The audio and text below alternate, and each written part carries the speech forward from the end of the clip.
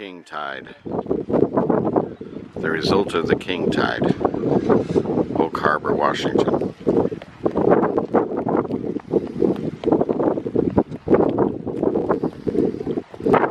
King tide comes, I think it's twice a year. I don't know. I've never seen this since I've lived here. So maybe it's not that often. But it's the tides come in from the Pacific Ocean really, really high. They bring all this wood in here, way up near the shore.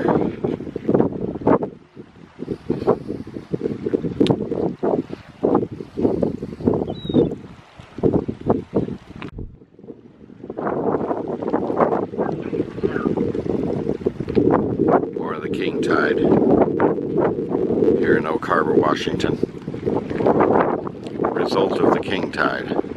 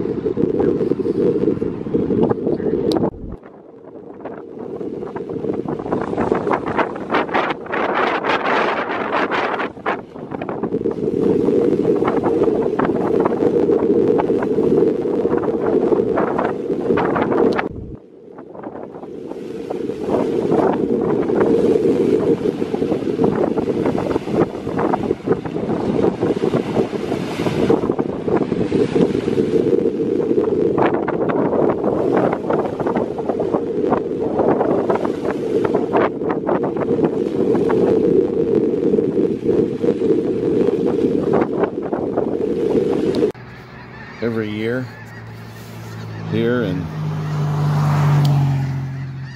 in Skagit Valley, Washington.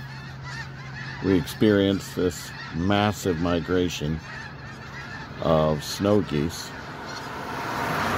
coming from Russia, Canada, Siberia, mostly Canada and Siberia.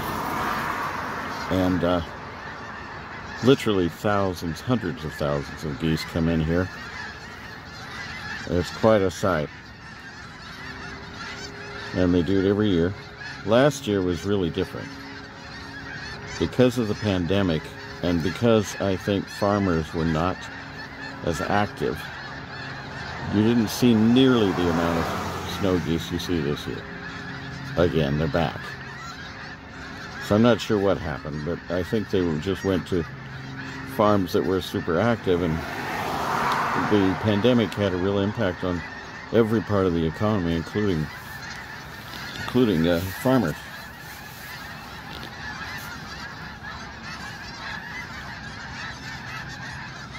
Isn't that quite a sight? Amazing. Just think hundreds of years for thousands of years I mean, thousands of geese for thousands of years.